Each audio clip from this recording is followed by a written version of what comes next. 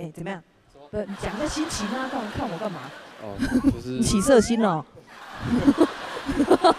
每次看到碧琪都是开心，但今天他感觉有点心事在里面，还是因为看到友婷学长会有压力吗？啊，还蛮大压力的。啊，吴飞今天也是第一次听到你有一点唱的在歌里面，嗯，哎，怎么样？不，你讲个心情啊，干嘛看我干嘛？哦，就是起色心哦。嗯，自己注意一下哦。我姐弟恋我可以哦。